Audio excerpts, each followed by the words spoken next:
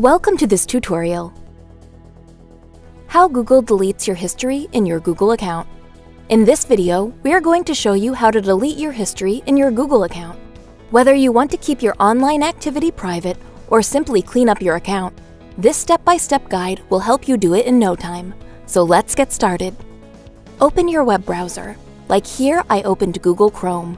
Click on the Sign In button if you are not logged in before. Enter your email and click on the Next button.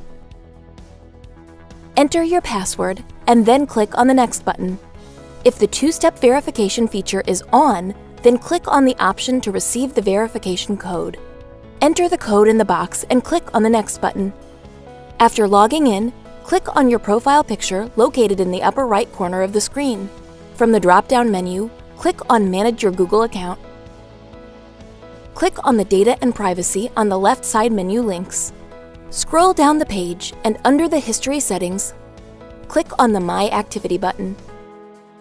Click on the Delete Activity by a link from the left side. Here, you can delete your activity history from last hour, last day, all time, and custom range options.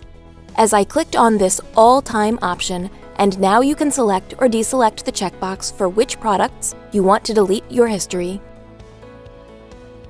I selected the All Products checkbox and then click on the Next button. In the confirmation box, click on the Delete button at the bottom right. This will permanently delete your history from Google. Click on the Got It button. Please note that deleting your history from your Google account will not affect the history stored by your browser or other third-party applications. You may need to clear your history in those separate places as well. See, this wasn't hard at all. Thanks for watching. Please subscribe to our channel.